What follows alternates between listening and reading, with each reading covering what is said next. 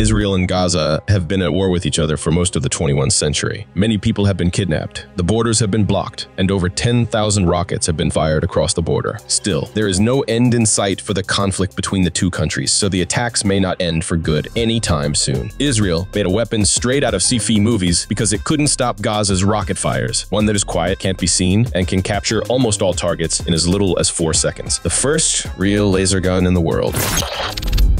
Rise of Iranian threats. Iran fired more than 300 drones and rockets at Israel on April 13, 2024. At the same time, Hezbollah shot dozens of Grad rockets at positions in the Golan Heights held by the Israel Defense Force. After that, there was a flood of rockets that hit a wall of defense. Late in October, Iran attacked Israel heavily with ballistic and cruise missiles, drones, and artillery backed by proxies. The attack was directed at military and intelligence bases all over Israel. Over 200 missiles were fired from Iran to positions in Syria, Yemen, and Lebanon, which were held by Hezbollah. The Israeli Defense Forces confirmed this. The Arrow 3 interceptors from Israel hit ballistic rockets while they were still in space. Even more were killed at lower levels by David's Sling missiles, which looked like U.S. Patriots. At the same time, U.S. warships and planes shot down some of the attackers. Israel's famous Iron Dome, a network of short-range defensive missiles guided by radar, was the last line of defense. Israel had largely stopped the attack by shooting down cruise missiles, ballistic missiles, rockets, and drones, and that was the point point, but Israel's powerful, multi-tiered, and integrated air defenses weren't completely safe. It is said that several Iranian missiles hit air bases as part of coordinated waves of drones, missiles, and rockets meant to overrun Israeli defenses and use up all the interceptors that were on hand. This time, the shield held strong, but Israeli strategists know it's a numbers game because they've seen that both Israeli and Ukrainian defenders are using up rockets faster than the industry can make new ones. That's why Israel wants an air defense system that always has weapons. What's the answer? Answer here.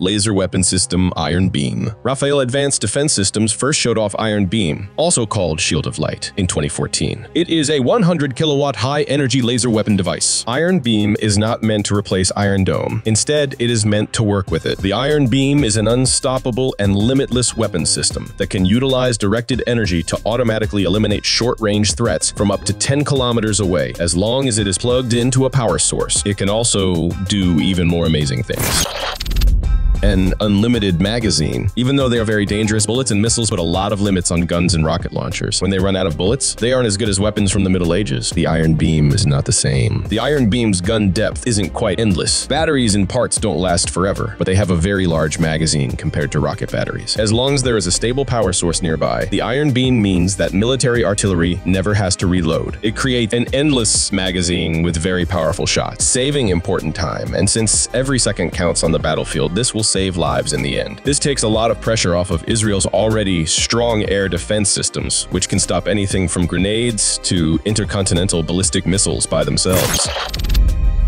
Cost per intercept. The cost per collision is also very important. A single Iron Dome rocket costs between 40 and $50,000. The long-range Shahed 136 drones from Iran are simple, low-tech machines that cost less than $30,000 each. This is in contrast to cruise missiles, which can cost millions of dollars each. Hamas mostly uses Qassam rockets, which are made from industrial pipes and handmade explosives and cost less than $1,000 each. The truth is that Israel's current method works, but it costs a lot when you use $50,000 missiles to hit $10,000 targets. For how long can you stand to be at the wrong end of the cost curve? Iron Beam is here. It only costs $2 per intercept, so it can stop a lot of strikes for very little money. Speed of light attack. Lasers use light energy. An Iron Beam's 100 kilowatt laser, which is fired from two different guns, can move at about 180,000 miles per second. Lasers are the fastest weapons because they can travel at the speed of light. A drone, rocket, missile, fighter jet, or anything else that can travel faster than sound cannot stop this weapon. Because of this, the Iron Beam has a success rate that is as close to 100% as it can get. The Iron Beam will definitely destroy its targets. Intelligent Interception. The Iron Beam is a smart tool that does most of its work without any help from a person. The Iron Beam is capable of automatically identifying and tracking threats, and it does this constantly. For this reason, Israel wants to line their borders with Iron Beam units because the weapons fire themselves, keeping threats from coming into the country and making sure that everyone in Israel, including the military, has a good night's sleep. The military will have less active defense to do. Iron Beam also lowers the chance of damage to other things. The Iron Dome's supersonic to interceptor missiles weigh 200 pounds each and are often used over crowded areas. If the engine fails or misfires, it could do a lot of damage, but a laser always goes where it's directed and will not land somewhere you don't expect fast delivery. Iron Beam was tested safely in 2022, but it wasn't supposed to be used until three years later. In April, President Biden accepted a $15 billion military aid package for Israel, with $1.2 billion set aside for Iron Beam. This was done to speed up the timeline. This used to be called R&D funds in the plans, but now the money is for buying things. A big bet on technology that hasn't been tested yet, but if it works, it would make a defense shield that is almost impossible to break. If everything goes as planned,